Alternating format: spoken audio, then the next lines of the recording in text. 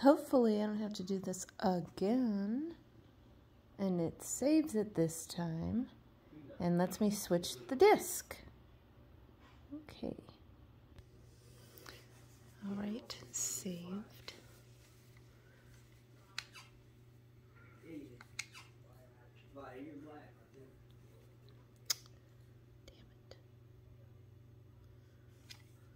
Damn it. I'm going to save it again. Okay, let's see if this does something, because... Damn, that has range of shit. Dude. I didn't even know that thing could go that. You know, so you're...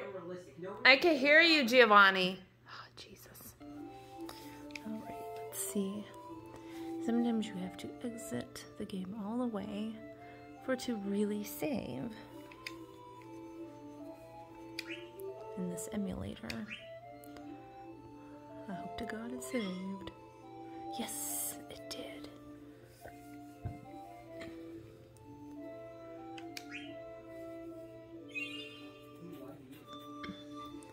All right. So I'm going to push both analogs in. And then I'm going to go to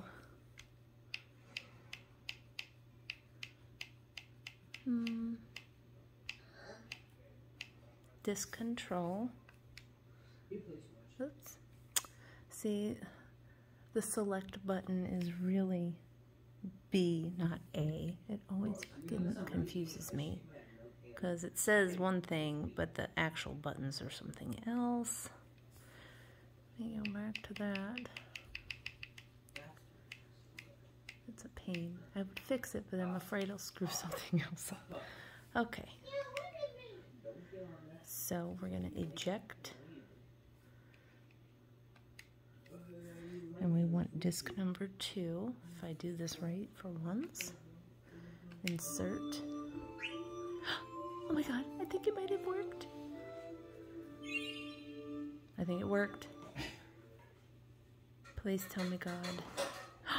Oh shit, it worked. Finally. I've only tried this 600 times. Awesome. Well, I figured it out. I only had to beat that final boss like a whole million times until I figured it out. Yay!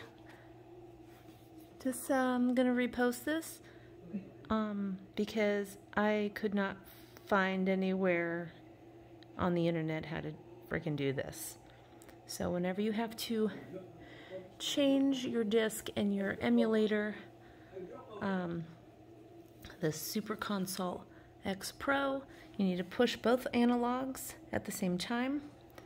And then everything that I just showed you, yeah.